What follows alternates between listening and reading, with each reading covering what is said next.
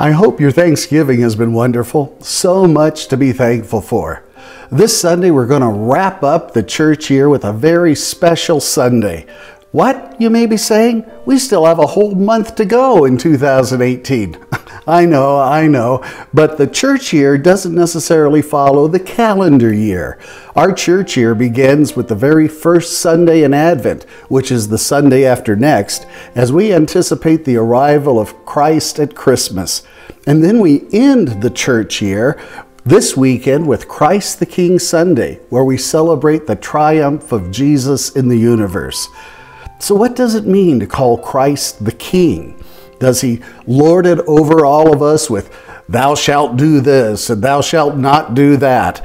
Well, Jesus did give us some commands commands to love, love God and yourself, love your neighbor, your enemy, and your friends, commands to bless and not curse.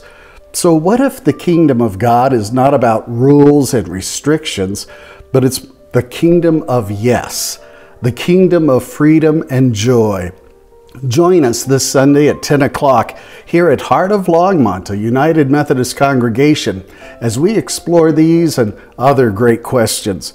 And I want to remind you of our first monthly Feeding Our Souls dinner. It's coming up Wednesday, November 28th from 5 to 7.